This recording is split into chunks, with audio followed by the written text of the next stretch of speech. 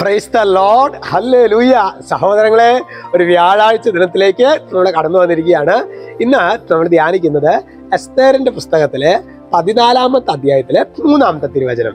വചനം വെളിപ്പെടുന്നത് ഇങ്ങനെയാണ്.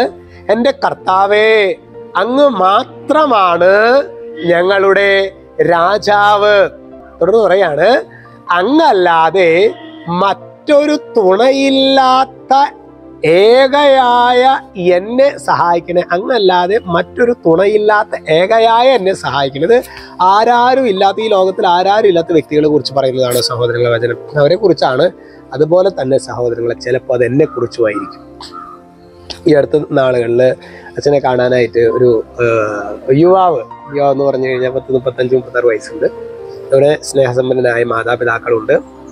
നന്നായി ജീവിതത്തിൽ സ്നേഹിക്കുന്ന ജീവിത പങ്കാളിയുണ്ട്. ഭാര്യ പിന്നെ മൂന്ന് കുട്ടികളുണ്ട്. കുട്ടികൾക്ക് പിന്നെ ഭയങ്കര ഇഷ്ടമാണ്.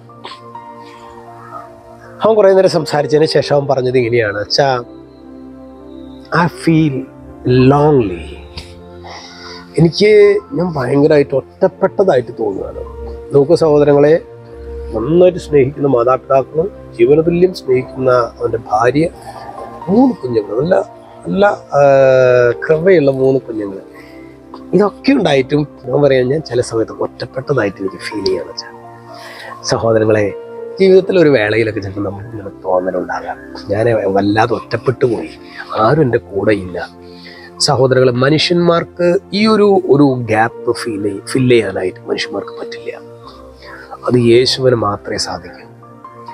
അതുകൊണ്ട് നമുക്ക് അങ്ങനത്തെ ഒരു അവസ്ഥയിലൂടെയൊക്കെ നമുക്കൊരു ഒരു ലോൺലിനെസ് അല്ലെങ്കിൽ we feel a kind of നമുക്ക് പ്രത്യേകമായിട്ട് ആ ഒരു ശൂന്യതയിലേക്ക് ആ ഒരു വിടവിലേക്ക് യേശുവിനെ നമുക്ക് പ്രത്യേകമായിട്ട് ക്ഷണിക്കാം. യേശു വരുമ്പോൾ മാത്രമാണ് സഹോദരങ്ങളെ ആ വാക്വം അത് ഫില്ല് ചെയ്യപ്പെടുകയുള്ളൂ.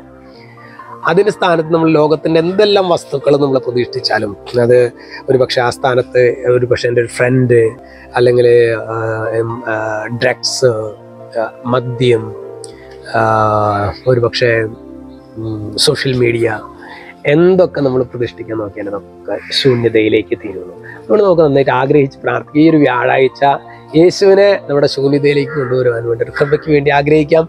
ഈശോ നിങ്ങളെല്ലാവരെയും അനുഗ്രഹിക്കട്ടെ. രക്ഷിതാവ യേശു ക്രിസ്തുവിന്റെ നാമത്തിൽ ആശീർവദിക്കുന്നു. ഇപ്പോഴും എപ്പോഴും എന്നേക്കും. ആമേൻ.